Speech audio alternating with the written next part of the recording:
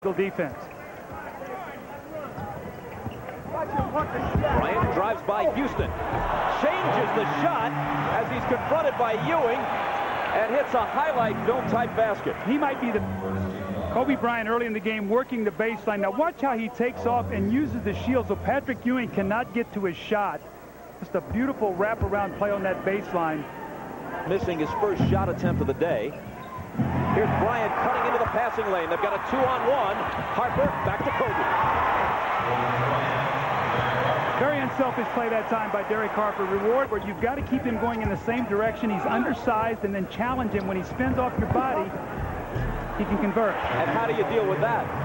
There is no dealing with that. Determination. Before the playoffs ended last year, Van Gundy thinks he's still not 100%. It's affected his shooting. Nothing affected Kobe on that one. He's got eight. Meeting of the year between these two teams. Bryant, fade away. Got it. Now, although he has the size advantage over Chris Childs, Chris Childs will fight him in the post. There's a Knick foul at the other end. Well, watch Chris Childs here. He's going to really fight Kobe, and he keeps him off the block. But just look at the ability for Kobe to jump, hang, and fade, create distance. Most consistent player in the words of Jeff Van Gundy this season. He doesn't start, but he often finishes. Bryant again. Can't put it down. High skying rebound to Rice. Inside Shaq. Very unselfish play by Glen Rice. He has not scored yet. Back line. Fisher around Rodman's screen. Rice lets it go. And jams the three. Uh-oh. We saw him get hot on Friday night when he really put up possession. You've only scored six points in this quarter. Shaq. Board of the game. Rice again. Same result.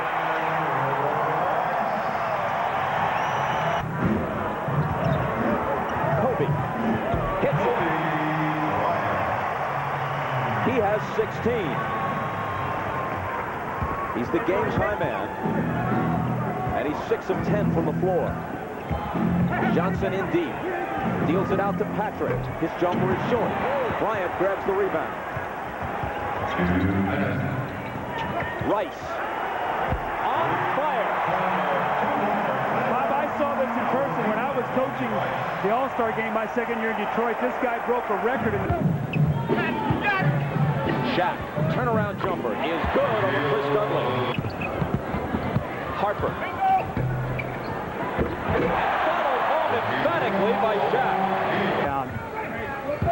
Dennis Rodman is out of the game for the moment as Bryant drains one from the... Ewing turns to face the basket. Jumper over Shaq. High archer good. Patrick Ewing. Ewing now with 14. Had a good first quarter. Blanked in the second. Coming on a bit in the third. Kobe answers at the other end. So he, Kobe Bryant on that top 40 chart is number 11 with a bullet. And here he comes taking off like a bullet to slam another pair home. right on cue there, Bob. And again, Charlie Ward with the lazy pass. Now Ward with three assists and three turnovers. And he's been very disappointing this year with his play. They expected more from him. His turnovers have gone up and his production down. Patrick spins by Shaq and is confronted by Rodman, but doesn't. Bryant a three-second violation against L.A. You cannot make lazy bounce passes to the middle of the floor. You just pick them right off, and that's what Kobe did. He's gone in the inside of the passing lane now about three times, and then the spectacular finish by Kobe Bryant. Sure. Almost lost it to Ward. Gives it up to Kobe. Seven on the shot clock. Shaq spins it even. Thomas scoops up the loose ball. Sprewell back. Blows right by Bryant to the hole. Well, here's Sprewell, and this is the winning play right here in the open court, and this is what New York would like to see more of. Kobe goes for the steal. Sp Sprewell with a finishing slam dunk, and you're watching the NBA. Well, New York has elected not to double-team Shaquille O'Neal. They're trying to play him straight up, and watch him now lean back here with his, uh, with his uh, back, get contact, and roll off for the dunk, and then the next time down the floor, Bob, you getting stopped this right here. Boom. He takes the contact. Kurt Thomas falls. No call, and then he about rips the basket down as Patrick Ewing fouls him and makes him shoot two free throws. You see the basket take the... Shaq catching up with the play, grabs the rebound. Here's Rodman. It's Ewing from 20 feet. The follow is there for Sprewell. Meanwhile, an altercation develops. Kurt Thomas and Dennis Rodman, and Thomas pulls Rodman down. And Rodman gives every indication that he has no interest in fighting here. Thomas wanted to go, and Rodman did not. I told you they're both volatile guys, and you could see Kurt Thomas looking to make something happen there as he had Rodman by the jersey. It looked like a hockey fight He tried to get the guy's jersey over his head. And you said, Bob, you called it right there. Rodman wanted no part of that. He didn't want to fight. He understood. And, and Thomas really was the aggressor there. We'll see how, what happens here when they sort through this.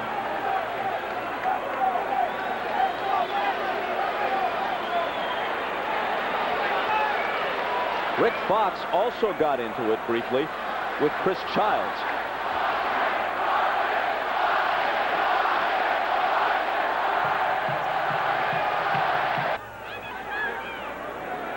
Against Kurt Thomas. They called a flagrant foul on Kurt Thomas right there as he threw Rodman down, and then he grabs him you know, Dennis Rodman really was just a spectator through all that. I mean, we, we talk about Rodman all the time, but he had nothing to do with what happened there, Bob. No, he was an innocent party, at least in that exchange. Flagrant foul on Kurt Thomas. Technical foul on Rick Fox of the Lakers. And an acquittal for Rodman. Let's keep our eye on Rick Fox now. To the left of the screen, right there, he now and Chris Childs start getting after one another. And that's where the technical got right there. I'm surprised that Childs maybe didn't get one because he litigated all that. Now Rodman will shoot the free throw here for the flagrant. Fans love it as he hits it. Now see, the, you got a flagrant one, which is two shots, and then a flagrant two, which is two shots in the ball and ejection. One of two. He backs him into the lane for the hook. Gets his own rebound. Misses the follow. Still battling. Loose ball. Scooped up by Fox. Five bodies on the floor underneath the basket. Fox with a miss. and finally a jump ball. They had won three times before he got there, and they had Jordan and Pippen and Phil Jackson. Here's Kobe. Increasing the lead to six. The only fragile situation he was in prior to Los Angeles was San Antonio. They had destabilized it at times. Here's Shaq. Against Dudley. Nice. Shaquille O'Neal was so powerful on that move that Dudley Dudley could not even foul him. He just got overpowered by Shaquille O'Neal. But Dudley is now drawing with Shaq and threw the ball in his direction. Man, if you want to pick somebody to go with, you go right to the head of the class when you go after Shaq. Well, that, that move right there was as powerful as you'll ever see. Now, Chris Dudley is not a small man unless you compare him to Shaquille O'Neal. He's 6'11 and 260. Oh, see, he was upset. He thought Shaq pushed him after the play and knocked him down and then he picks up the ball and throws it at Shaq. I think Shaq got a tee before that. Watch this now, Bob. Watch the power. He just overpowers him, and he comes down, and then he shoves him right there. They've called the technical on Shaq on that play, and then the technical on Dudley for throwing the ball. Rice against Houston, up top to Harper. Straight away three. Derek Harper. See, Chris Childs has got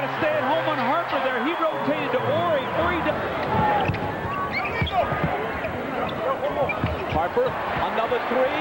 That's a tough shot. Derek Harper just very. Chris Childs been illegal this whole possession. They've not called it.